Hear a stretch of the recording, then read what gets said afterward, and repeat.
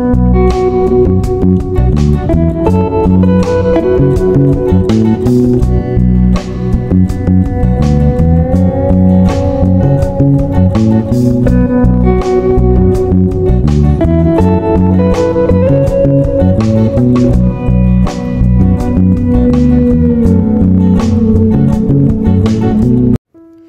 Friends अस्सलाम वालेकुम कैसे हैं? उम्मीद है सब अच्छे से होंगे।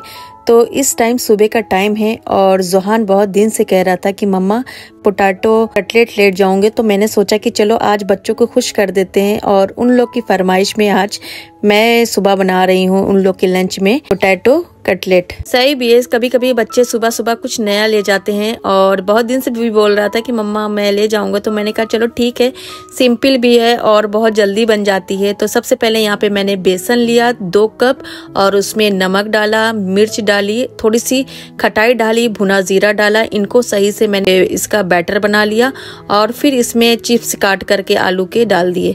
जब ये अच्छे से मिक्स हो जाता है तो इसको मैं फ्राई कर दी और फ्राई होने के बाद इसमें चाट मसाला डाल दिया और बच्चों को सॉस में लगा करके दे तो ये बहुत अच्छा लगता है, बच्चे शौक से खा भी लेते हैं, बस ये लगता है जो खा ले लंच में, वही अच्छा। और हम लोग के टाइम पे तो अचार पराठा इतना चलता था कि हम लोग को सुबह वही मम्मा देती थी अचार पराठा, और अपनी फ्रेंड्स के साथ वही अच्छा लगता था खाने में। और आजकल के बच्चों कभी कह दो कि अचार पराठा ले जाना है या सॉस पराठा ले जाना तो फ़ौरन मुँह बन जाता है कि नहीं, मुझे रोज नई नई चीज़ें चाहिए, तब लेके जाऊँगा।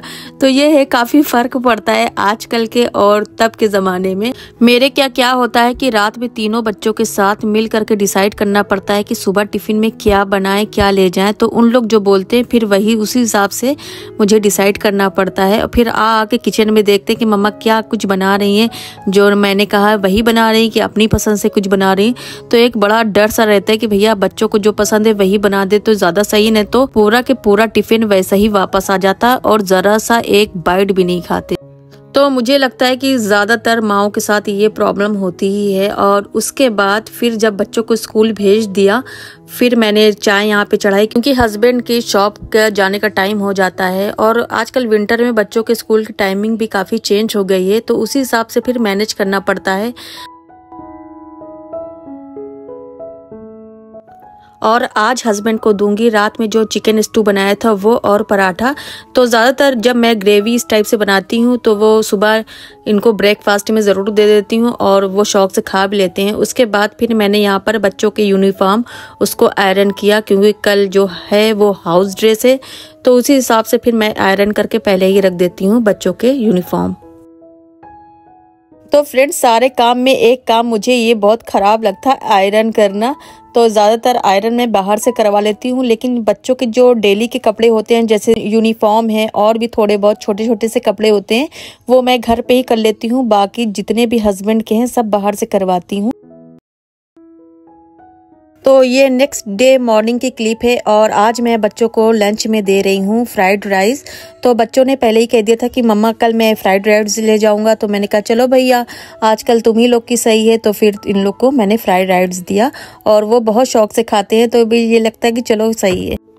तो आज सुबह सुबह अरमान रेडी हो रहे हैं स्कूल जाने के लिए और यूनिफॉर्म नहीं पहने हैं, सिविल ड्रेस में जा रहे हैं तो आज इनका बर्थडे है, सिक्स दिसंबर है तो बहुत ज़्यादा स्टाइलिस्ट होके जा रहे हैं और बहुत ज़्यादा खुश हैं। मैंने कहा, चलो ठीक है। और बहुत सारी चीज़ें ले जा रहे हैं। बच्चों को अपने बर्थडे आने का बहुत ज़्यादा बेसब्री से वेट रहता है। एक दो महीना पहले से वेट करने लगते कि, मम्मा, मेरा इस टाइम आएगा बर्थडे, क्या करेंगी? और इस टाइम आएगा तो ये करेंगे तो बहुत ज़्यादा एक्साइटेड रहते हैं अपने बच्चे जो होते हैं बर्थडे में। और बाहर का काम अभी भी स्टार्ट है रेनोवेशन हो रहा है बाहर। और यहाँ पर जो ये वॉल है ना तो इसमें पूरी में डिज़ाइन बनाई जा रही है पीओपी लगा करके। तो ये डिज़ाइन बनाने एक बार तो बिल्कुल खराब हो गई थी, दोबारा फिर से चेंज करके बनाई जा रही है। अब देखिए फाइनल लुक इसका कैसा आता है।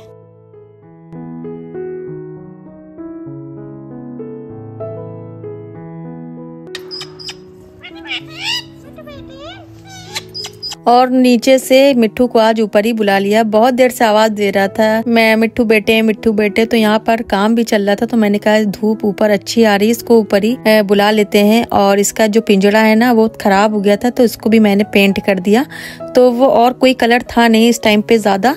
तो फिर मैंने यहाँ पर इसको, जो पिंजड़ा था ना, वो पूरा ब्लैक कर दिया। अभी मिट्टू महाराज बहुत खुश है। उनको बिल्कुल भी अंदाज़ा नहीं कि उनका पिंजरा ना पेंट करा जा रहा है और उनको शायद ये ब्लैक कलर बिल्कुल भी पसंद नहीं आया। तो उसके बाद इतना अपसेट हो गया, किसी से बात नहीं की। बिल्कुल चुप हो गए, ना कुछ खाया, ना पिया और बहुत देर बाद जाके नॉर्मल हुआ है। वरना ये बोलता ही रहता है मिट्टू बेटे मिट्टू बेटे, और सबका नाम लेता है और सबको बुलाता है।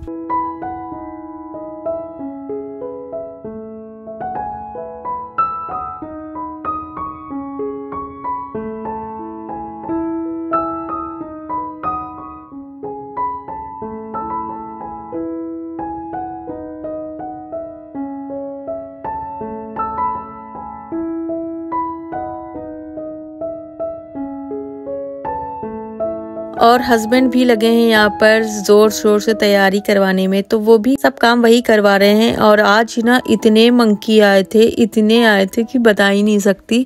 बहुत ज़्यादा मंकी थे छोटे छोटे से बच्चे थे, लेकिन बहुत ज़्यादा क्यूट लग रहे थे। और उस टाइम पे जोहान ना स्कूल में था, नहीं तो उसको ज़रूर दिखाते तो वीडियो बना करके उसको दिखाया तो सुन कहने लगा कि, मम्मा, इनको पाल लीजिए ना।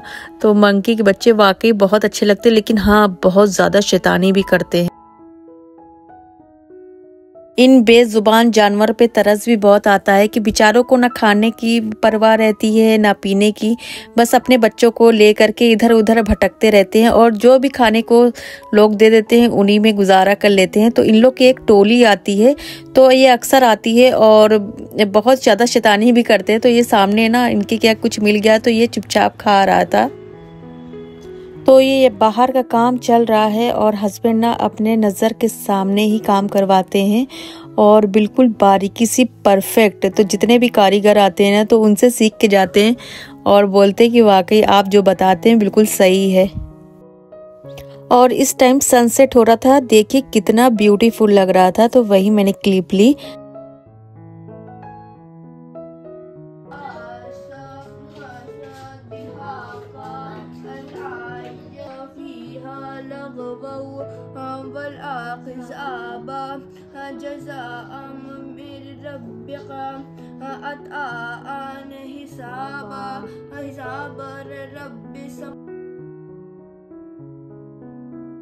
तो ज़्यादातर क्लीनिंग मैं बाहर की रात में ही करती हूँ क्योंकि बाहर तो काम चल रहा है ना तो दिन में तो इतना फैलावा होता है कि क्लीनिंग करने का दिल ही नहीं करता और बहुत ज़्यादा हर चीज़ गिरा होता है पुट्टी है हर चीज़ पेंट वेंट है तो रात में ही क्लीनिंग कर लेती हूँ तो ज़्यादा बेटर रहता है और उसके बाद बनाया मैंने आज रात में बिरयानी। तो इसकी रेसिपी भी आप लोग देखिएगा। तो मैंने यहाँ पर क्या क्या डाला है ये देखिएगा। तो यहाँ पर मीडियम साइज़ की चार बड़ी प्याज है, उनको चॉप कर लिया है और 10 से 12 हरे मिर्च है, उनके एक दो कर लिया है। यहाँ पर सौफ है और गरम मसाला है सब गुलाब के फूल हैं थोड़ा सा संदल है और अदरक, लहसुन का पेस्ट है। तो इन सब चीज़ों को मैं ग्राइंड कर लूँगी। यहाँ पे चिकन है, इसको मैंने सही से वॉश कर लिया है और जितना भी मसाला है जो मैंने आप लोग को दिखाया है, इसको मैं पीस लूँगी। लेकिन हाँ प्याज और हरा मिर्च उसको नहीं पीसना है। तो ये मसाला जो है बिरयानी का, इसको मैंने पीस लिया है।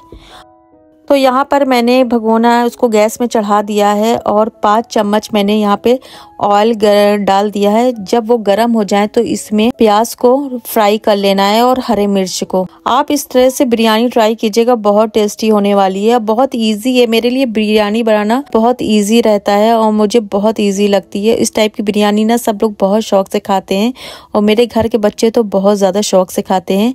तो यहाँ पर मैंने अच्छे से प्याज जो है इसको फ्राई कर लिया है। और इसी में मैंने हरे मिर्च भी डाल लिए हैं। तो 10 से 12 हरा मिर्च आप डाल लीजिएगा तो ज़्यादा बेटर रहेगा, एक एक का हाफ़ हाफ़ करके। और उसके बाद जो मैंने यहाँ पर मसाला बिरयानी के पीसा था, उसको भी मिक्स कर लूँगी और अच्छे से भून लूँगी।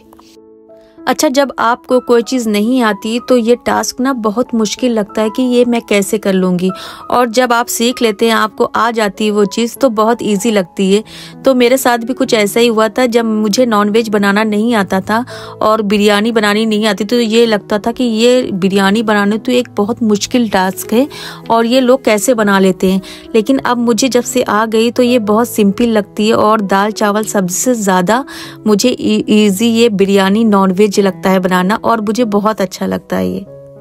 अच्छा उसके बाद मिलाना है इसमें रेड चिली पाउडर और नमक और उसके बाद अच्छे से मसाला जब फ्राई हो जाए तो इसमें चिकन डाल देना है और चिकन जब अच्छे से फ्राई हो जाए तो इसमें टू टेबल स्पून तक चिकन मसाला डाल देना है। चिकन मसाला आप डालेंगे ना तो आपका इसका जो चिकन है ना, इसका टेस्ट भी बढ़ जाएगा और बिरयानी बहुत टेस्टी होगी। जब ये अच्छे से सब तैयार हो जाए तो इसमें लास्ट में चावल डाल देना है। यहाँ पे मैंने बासमती चावल लिया है तो ये भिगोया है मैंने सिर्फ़ आधा घंटा और बासमती कम भीगता है ना। और सेला चावल आप जब लें तो इसको तीन घंटे लगते हैं भीगने में। और सेला चावल में पानी भी ज़्यादा डलता है, लेकिन बासमती में पानी कम डलता है। तो इस हिसाब से आप पानी भी डालिएगा और चावल भिगोइएगा भी। तो बहुत सारे लोग तो यहाँ पर चावल बॉयल करके बनाते हैं, लेकिन मैं चावल बॉयल नहीं करती, चावल मैं भिगो के बनाती हूँ। और जब चावल सही से इसमें बॉयल होने लगे तो इसमें एक लेमन काट करके डाल देना है और उसको तेज़ फ्लेम में बनाना है।